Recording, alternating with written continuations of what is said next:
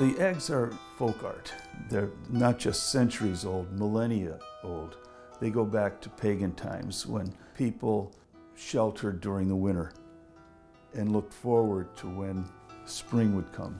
Ukraine became a Christian nation in 988. So those concepts kind of fit kind of neatly into a Christian Easter concept of resurrection and light conquering darkness and life conquering death. And so the decorations reflect that, the tears of Mary, a cross, but also still reflect some of the ancient pagan. Uh, so you, you have various animals, you have uh, shafts of wheat, and it's something that we at the museum have been highlighting for the last 25 plus years.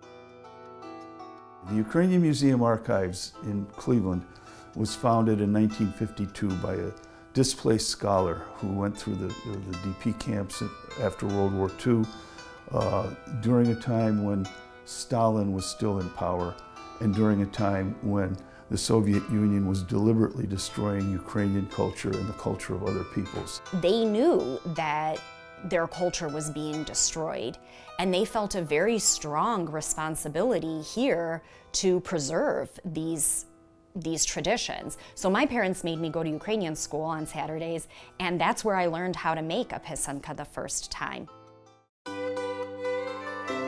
The completed egg is called a pysanka, and that comes from the verb pisate, which means to write.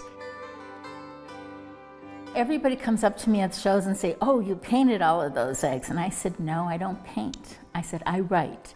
And I'm actually writing a design with beeswax. So I have a tool to write with. Um, this is a tool called a kistka.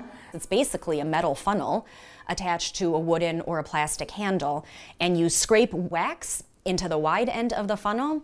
You heat it by, by a candle, and as the wax melts, it comes out of the, the narrow end of the funnel, and, and that's what you draw onto the egg. And if you notice, I'm moving the egg, and I'm steadying my hand by putting my baby finger on the egg. So my right, so I'm the egg is what's moving so that I can draw straight lines. You're creating the design in reverse. So you're you start with a clean white egg and you cover the parts of the egg that you want to stay white. The wax seals off that part of the egg and the dye can't can't get in. And so then you use the lightest color dye that you, you plan on using, usually yellow. What I want to do next is in the center of the star, I'm going to do teardrops, and the teardrops symbolize the Blessed Virgin Mary's tears. I do designs that can take me anywhere from three to five hours to eight hours to 14 hours on a simple chicken egg. It relaxes me. The lines, there's no beginning and there's no end, symbolize eternity.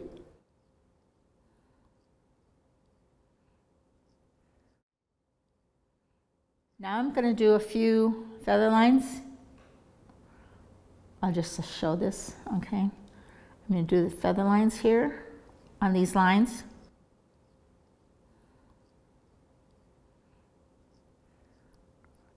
And this is going to be done on all of them.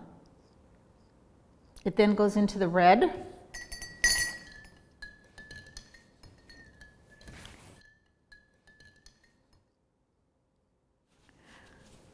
Okay, red dyes right over the orange.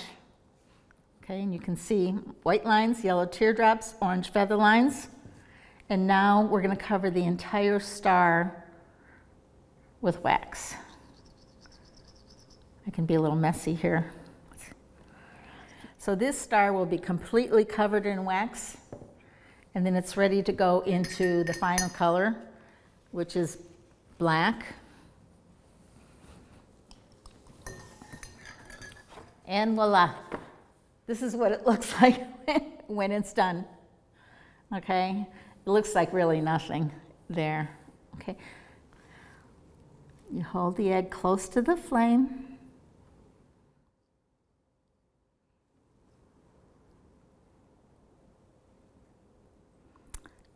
When melting the wax off, all those pencil lines that I had before all come off with the wax.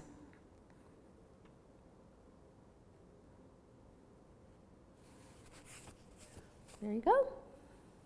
There's the white lines, the yellow teardrops. I don't have the green dots, but there's the orange feather lines and the red star.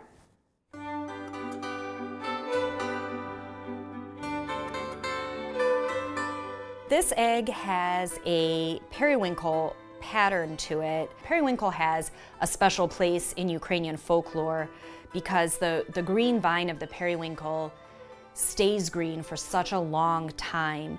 Even after the first snow, you can see how green the, the periwinkle vine is. And for that reason, it's developed a significance of perseverance and persistence, uh, which is kind of a, a, lovely, a lovely thought. It's something that I grew up with. You know, we had them around the house, or we have them at home. It's part of tradition, it's part of who we are as a, as a, a, a people. They have have really become to be very strongly associated with Ukraine itself, and they've always had a meaning of renewal and, and rebirth, and I guess hope could be included in that. Let's pray for peace in Ukraine. It's all we can do right now.